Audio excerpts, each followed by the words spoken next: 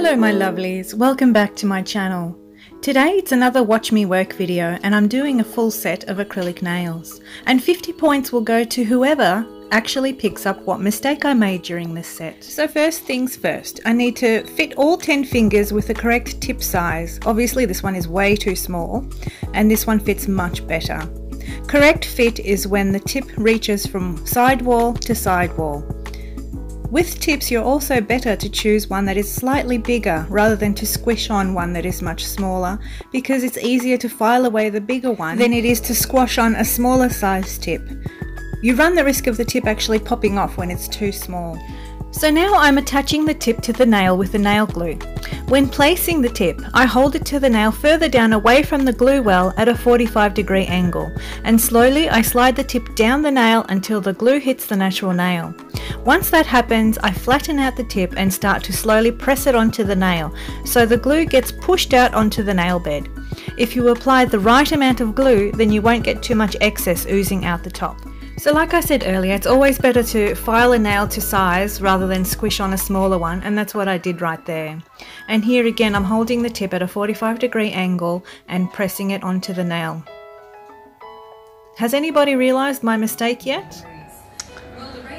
Oh, where's my mind? That's right, I missed the most important part of any nail service application. I forgot to prep the nail. I was so eager and so excited to get filming for this tutorial that I completely, completely forgot to prep the nail. For all of you who noticed and were yelling at the screen, prep the nail, prep the nail, you all get 50 points. Not that the points are redeemable for anything at all, but you know, for bragging rights I suppose. Make sure you leave a comment down below to let me know how silly I was and you can redeem your bragging rights there. So now I'm going to cut the tips to the size that the client wants and in this instance the client doesn't want them too long at all. So I tell her to look at her hand from the underside to see how much the free edge is protruding from the fingertip. She obviously wanted it a little bit shorter so I cut some more off. Now I have to go through and make sure they're all the same. When using the tip cutters to shorten the nails, always make sure to support the free edge. This way it doesn't fling across the room when you snip it, plus it also feels more secure for the client when you're supporting it as you cut. And once I've finished trimming all the nails, I'm going to go back and shape them all. This client wanted a slightly tapered square shape. I always like to file my side walls first and I usually alternate from side to side up until my shape is even. Most of the times at this point I will file the free edge but most of the times I won't because I know the shape will change after I've put the acrylic on. But the side walls are more important because that's a lot more work to file when you've actually put the acrylic on. So the tips on these first three nails are stuck on without any prep done to the nail. And this ring finger, as you can see, has a whole bit which is actually still not attached to the nail. But I'll show you how to deal with that without taking the tip off completely and starting again.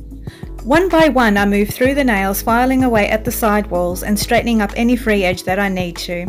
And if the uh, glue has seeped onto the fingertip, I make sure to peel it away from the nail, just like that, before I file into it, because otherwise you run the risk of actually cutting the client's skin if you leave the glue attached as you start to file. Now I'm using my e-file with a fine sanding band to blend in that tip and prep the rest of the nail as well. I also like to use my sanding band to remove any cuticle that may be, that may be found on the nail plate.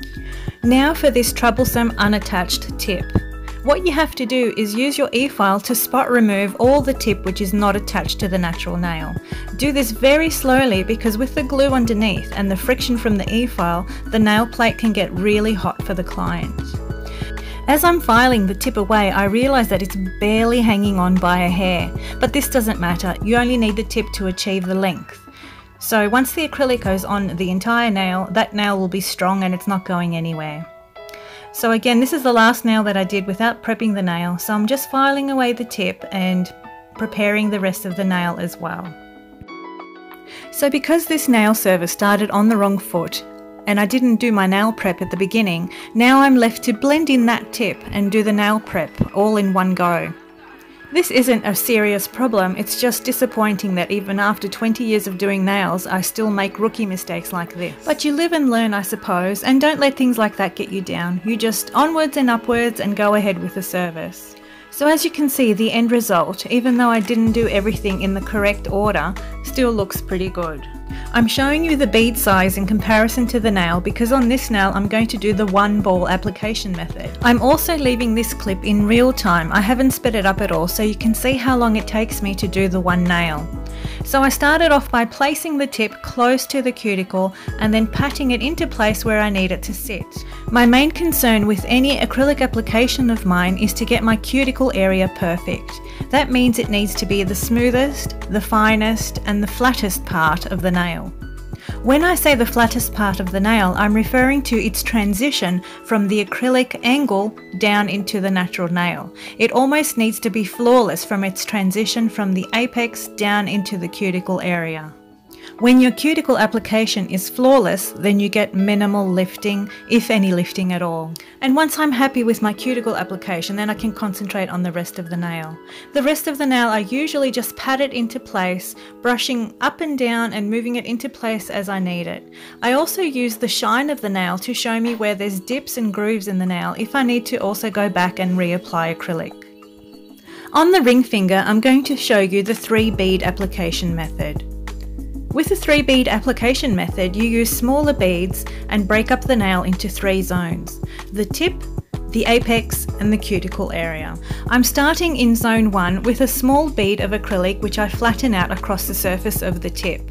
This bead only reaches up to the stress point of the nail and, and, as an extra step I'm just smoothing back the acrylic that reaches up to this point to make the transition of the second bead easier when it comes over the first bead. The tip part of the nail needs to be thin enough so it looks natural but also thick enough that it doesn't break with the first thing that the client grabs incorrectly.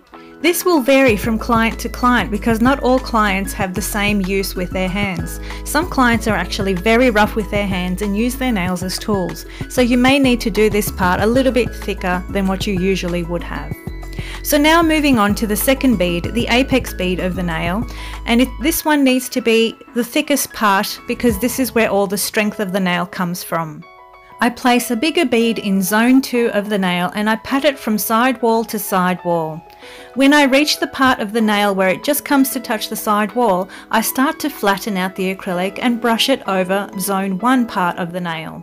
And because I feathered my zone 1 bead back up into the cuticle and made it nice and flat, my transition of zone 2 bead is a lot smoother as it comes over the tip part of the nail. There's no rule that says you only have to brush your strokes downwards. Sometimes I like to brush backwards up towards the cuticle because I find I push too much product down towards the tip and I need it further back towards the nail. Again here I am flattening the back part of the bead so my transition of the cuticle bead is a lot smoother over the nail. Again with zone 3 I am very careful with how I apply my acrylic around the cuticle area. I push up the acrylic very close to the cuticle but not touching. If the acrylic touches the skin then it will most likely cause lifting. So you push it up so close to the skin where you're able to still flatten it and make that transition nice and smooth to the natural nail, but not close enough that you end up touching the cuticle. Then the remainder of the bead you brush over the entire nail and you should have what is the perfect nail. If there are little dips and crevices in the nail, you can always go back with extra acrylic and fill those in. If you remember with the ring finger how badly attached the tip was and the steps I took to fix that problem, you can actually see now how perfectly attached the acrylic is to the nail and that nail won't cause any problems for the client. Now I'm moving through all the nails using the one bead application method and once I've done that step I'm going to clean my brush thoroughly from all the acrylic. To do that I just dip it into my monomer and then brush it onto my paper towel a couple of times up until I'm satisfied there's no acrylic left in it. Now it's time for the final shaping of the nail. I'm using an 80 grit file to file the side walls and the tip area of the nail. When filing the nails though, I've noticed that the point of view is different for me and different for the client. So to see how the client would see their nails, I turn their hand over and check if the nails are straight. If they're not, I just shape them as need be. Now it's time for shaping the nail surface. I'm using my E-file and a fine sanding bit to do this. I always start at the cuticle area and then move my E-file down towards the tip. To achieve minimal lifting, then all the part, that big U that goes from side wall up to the cuticle area and down to the other side wall, needs to be the thinnest part possible. The transition needs to be flawless from acrylic down to nail, and that way you'll find you'll get minimal lifting. This requires for you to angle your e-file in such a way that you do manage to get that transition nice and flat, but not to flatten the entire nail, because you do need that thickness across the apex area and across the stress part of the nail to make sure the client doesn't break her nails easily. So let me know in the comments down below if you want a video specifically on how to use the e-file for shaping the nail at the end of the acrylic application. Now I'm just using my drill to clean underneath the nails and really because it's only tips, I'm only filing away any fray bits that are there. After that's done, I need to use a block buff to remove any excess fraying bits around the edges of the nail. So I go through and I do all the nails and clean them up that way. And then I'll be ready to apply my gel polish. My client has chosen Madam Glam's Bright Barbie Pink to paint her nails. Initially we were going to do a stamping design on her nails, but at the 11th hour she changed her mind and just wanted plain nails.